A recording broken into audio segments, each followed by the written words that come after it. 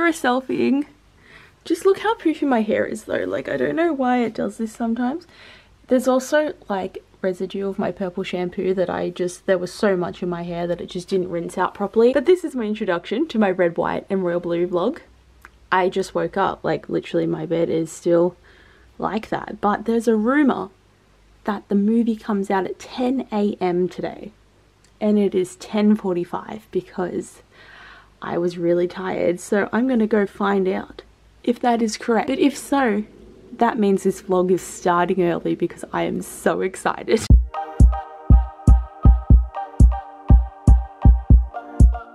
I'm back to upstairs filming because it is on Amazon, which is only available on the upstairs TV.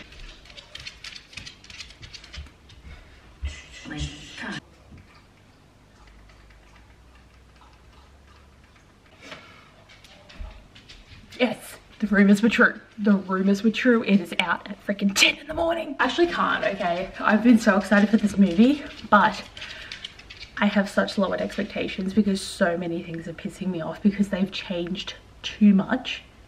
Like, one thing is there is no June. Alex's sister doesn't exist. He only has his friend, Nora. Not the same. His parents were never divorced, apparently. They're still together, so there is no uh, drama there and we don't have a queen we have a king. So there is a lot that I think's not going to be great but if they just have the base story I will be so happy but like I'm so mad that they changed these very vital things to Alex's character that it just shits me but like it's here. Okay, the vibes are quite immaculate. Like I'm really liking the way the story just started with a new story that's like introduced them quite well. They're at the wedding. We all hate Philip. Again, spoilers. They're gonna be spoilers in this vlog because I have read this book twice and I love this book so much, but I feel like I'm gonna be stingy about the movie. But they've just met. They hate each other. They think each other's the most irritating person ever. I'm so excited. But like, I want to be excited, but I'm also just like, I don't want to be sad. Oh my God. Oh my god, no, the cake. That cake was iconic. I feel like I've changed my mind. They've, they've got it. That cake was so massive and they talked about how it cost 75,000 pounds. But the way that like Alex is, he's so drunk. I don't know why he got drunk at this wedding. I know he's bored, but like seriously, the way he put it on his sleeve at first and he's trying to help him, but then they were fighting over the napkin.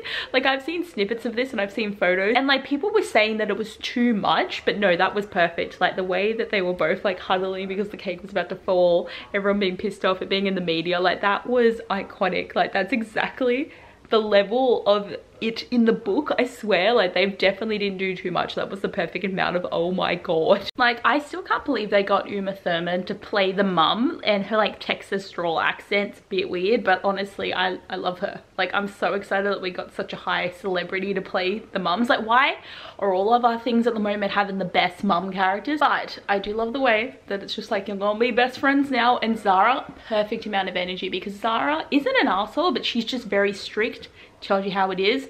And honestly i just i just love her and the way that he's just like whining about it alex. And he's just like i don't want to. And she's like you are bitch. I'm gonna make you.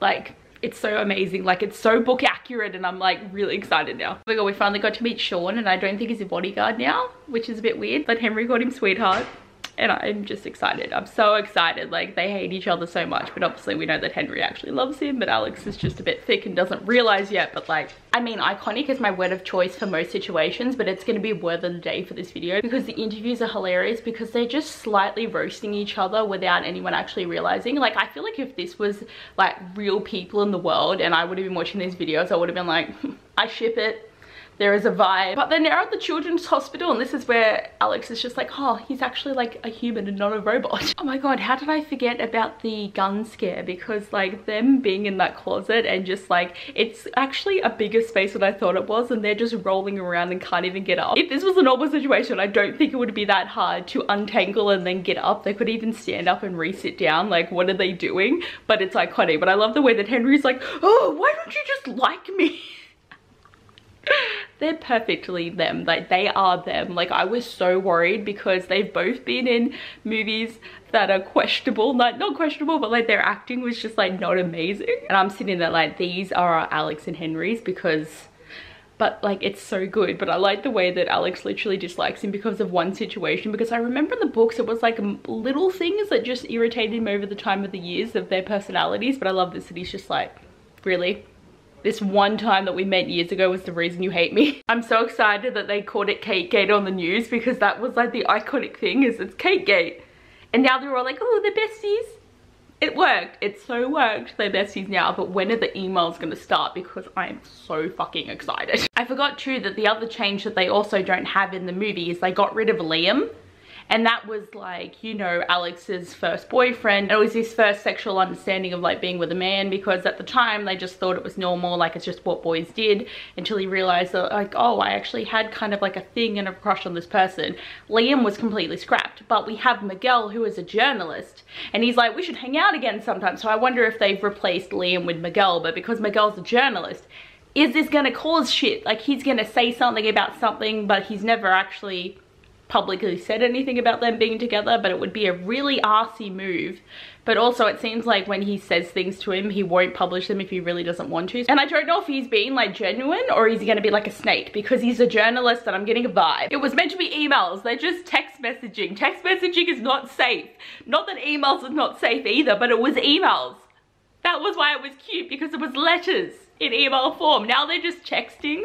But also, who's gonna hack their phone and get into that? Like, I'm so concerned. I actually really like the way that they've incorporated the messaging though, that they're still like both in the room and they're talking to each other. Like, obviously, we can keep reading text messages that they send, but I like the way that it's like out loud and like the way they're both on the bed talking and we know that they're in different places, but I also feel like they should have made the sheets and the pillows different just to add that little bit extra, but it's really cute that like they're obviously in different beds, different countries, but they're just having a chat with each other and they included the turkey.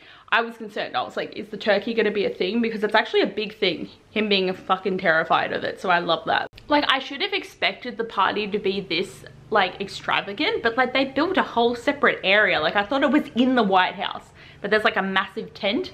But also, um, Henry's friend, whose name is I don't remember, what is it? It's, it's on here. Let me just is it tell Percy? I love that it has the little like actor thing, the x-ray, so perfect. But he was in love with June and now it's Nora. Like, it's bothering me so much that they keep changing the thing. I feel so bad for Henry because he just doesn't want to be there. Like, he's obviously only there because Alex is there. But this kind of a party would make me feel really awkward too, especially if my friend just kept leaving me because it's awkward. You, you only enjoy it if you're stuck with someone. Like they don't leave your side and you don't leave theirs and you can enjoy it together.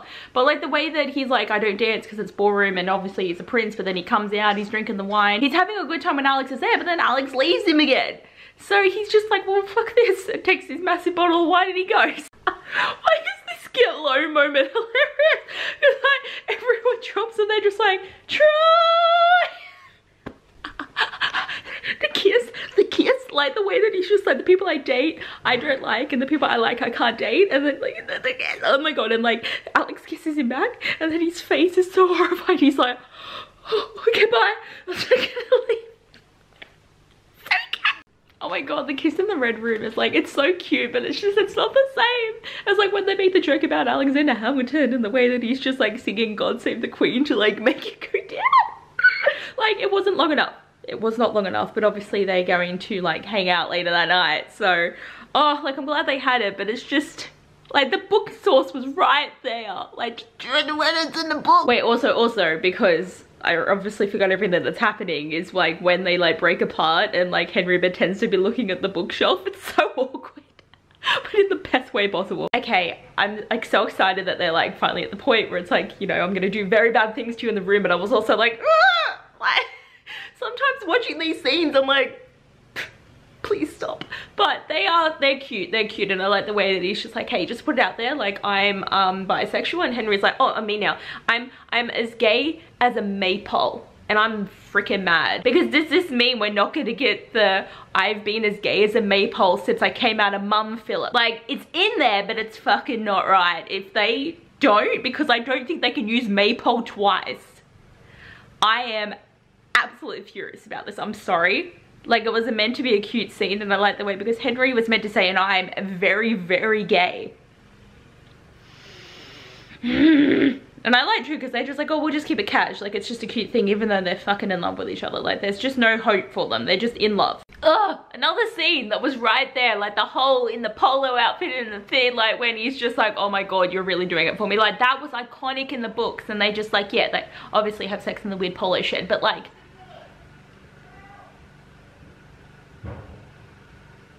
But like they need to actually put the lines and the moments and the, like spend more time on the things that are important. These are important to me. I really 100% feel that they've taken away Alex's um, aspirations to be in politics. He still wants to be more than the party boy player, but literally in the books, he was studying politics. He was a big part of things. He went with his dad to things. He was that, like, cause there's that other guy that was in politics and I think they might have replaced him with Miguel because he was like Alex's mentor and the person he really looked up to. And this, he doesn't seem to really be into politics. Like he wrote a memo for Texas and stuff, but it doesn't seem to come from the background of him actually caring about politics. And it's really annoyed me that they've taken so many of his fundamental personality things and the things that are important to him and just turned him into this party boy who's like in the press and he's this person and that person. And we don't even have like the big three thing that they have with June and Nora. Like there are so many things that they've changed. And like thank god the base romance is there but they've completely butchered Alex's character and I hate it so much. Yeah definitely watching Alex in Texas and doing the campaigning stuff is way more Alex Alex than the Alex that we have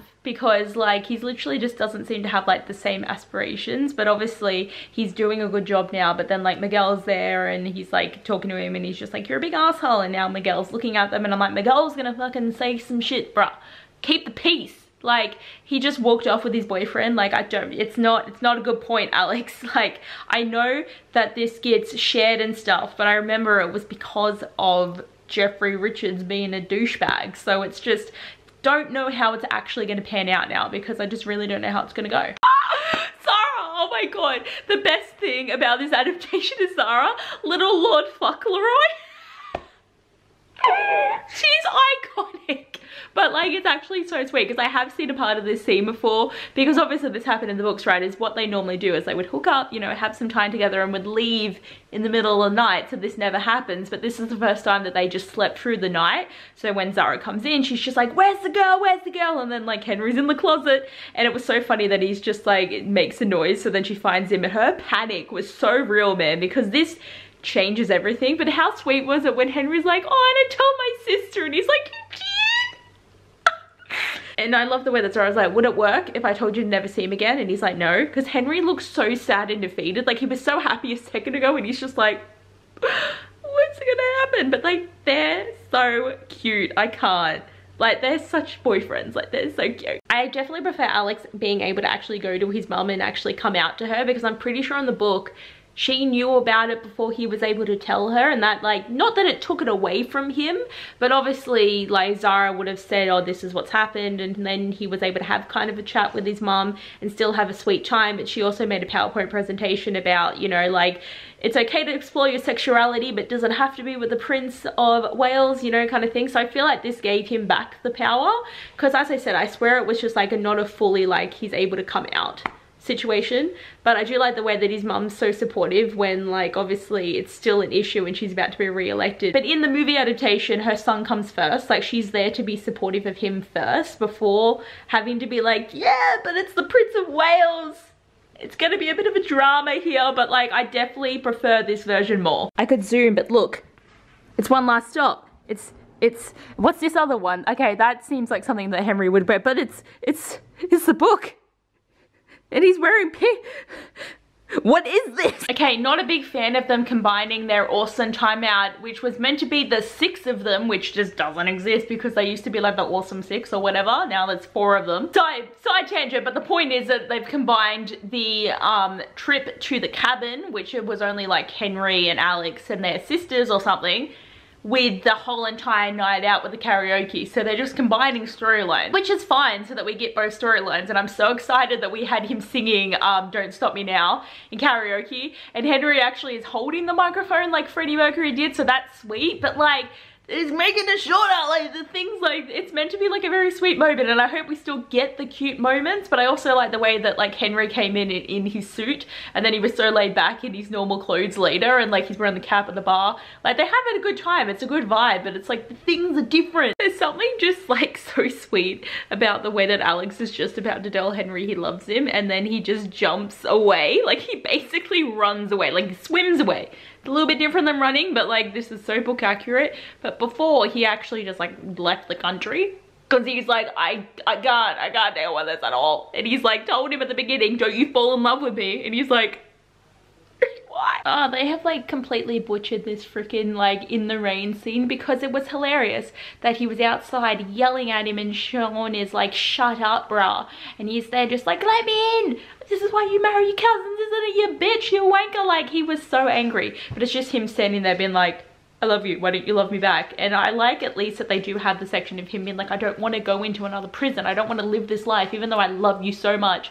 I don't want to feel like a prisoner my whole life. And it's valid, it's fair. I'm thankful that they include the, well, if you want me to leave, tell me to leave. You make me leave. But now they're going to what? To the place where he has that statue that he likes? Because this wasn't the thing, this wasn't. Like they were meant to have him say, make me leave, and then he kisses him and it's, it's powerful what is that? This happened right at the end of the book, so now it's happening now. I don't understand what's going on. But it is cute. Like the whole scene when they are in the museum is cute and how he's like, I wished I could have brought a boy here and that would have been so sweet and how he went with his dad. But then they're like, history, huh? Bet we can make some. So I'm so glad that quote's at least in this. Like if I was watching this at night, I would have made sure I had my History Heart shirt on, but because I'm not, it's pajamas for me. Okay, it's so much cuter that they actually swapped the ring and the key because what happened in the book is Henry gave Alex the key and he actually put it on the necklace chain. But it's sweeter that they swapped, like that's actually so cute. Oh, so they are doing emails. Like, it was all texting for ages. When did they swap to emails? I didn't even pick up on that. I love that they're calling them the Waterloo letters, though, because that's what they were called in the book. But I'm also really excited that we actually got to see Henry's reaction to the news, though, because obviously the book's from Alex's point of view. So we just got to see the aftermath of how Henry's going. They had a complete communications blackout, so they couldn't actually talk to each other and see how each other was going. I just hope Alex comes to the palace and it comforts him because that is a very important part of the book this is all wrong. Like, this is all wrong. What is happening? Because Alex is just doing a press statement about how they've been together this whole time when they haven't even talked to each other yet.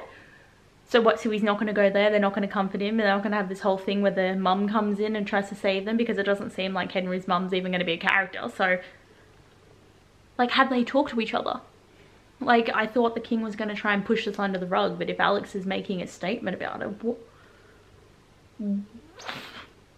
What is happening? Honestly, I'm shocked that they even included Zahra and Shaan being a thing because nothing seems to be going the way that it should be. And I so love that we did get the phone call and I love that it was actually from Henry's point of view because he's the sad boy in the situation. Like they're both sad, but Alex can kind of take it a bit more than Henry.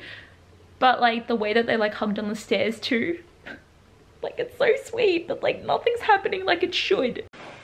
The tears came. Oh my god it's so cute. Like i don't even think i like this version of it being a king and not the queen because like the queen was such an asshole when she was all just like well it could have just been all fake. But it would have made more sense to have this conversation before alex came out and did a statement like of what. But like the king was such an asshole. And he's just like no this is just it's not what we do. But then like the crowds of people i'm so glad they still did that because it's so sweet like they have so much support like I didn't even cry in Heartstopper, but like this, this made me sad. Like, and now the election, like the election seems to be like barely a plot in this movie, I swear. And it's like freaking, so they don't even talk about the fact that Jeffrey was the one that leaked everything because they got rid of the other election dude man that was very important to the story but it's like we don't need him and like Miguel doesn't make sense really like I know that he's a journalist so it's like a snake personality but it doesn't make sense that he's the one that releases shit I don't, I don't know why they did it this way, but we know Ellen's gonna win. now I'm crying because they won the election. Like, why is it so sweet the way that like they came running and the mum came running and like they won. and like Henry's on stage with them and they're it. why is this making me so emotional? Like, oh, I'm crying so much. Oh, at least it ended with them going to his childhood house like it did in the book. So many things were different though, but like at least we got that moment. And there was an end credit scene because Jenna also watched this at the same time as me and we've been chatting about it and she was like, there's an end credit scene and it's basically like the scene after the cake drops and Alex kind of goes, do you think anyone noticed? And everybody's like, what the fuck? But I definitely enjoyed the movie. Like for what it was, it was definitely done really well. It told a really good story, but it's so hard not to think about the book and the way that they change things because Alex isn't the Alex that I know from the books. Like he's still a good character.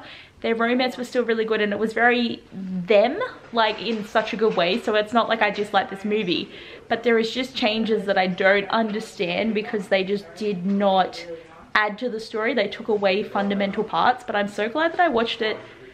Can't believe it came out because I swear so many of these things I've been waiting for so long for and now we're halfway through August. Like what is time honestly at the moment, but I really enjoyed it. I had a lot of fun. Tell me all your thoughts and feelings, but thanks for watching this little vlog. I hope you enjoyed I'll see you guys next time. Bye.